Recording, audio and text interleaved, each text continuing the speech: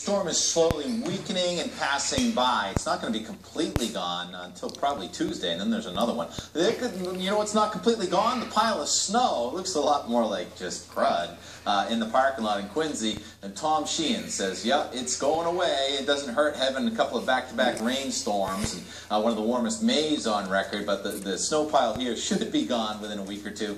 Uh, the one in Boston, though, I think is still 30 feet tall. That's what the mayor was saying. There's a contest to guess when the one in Boston disappears.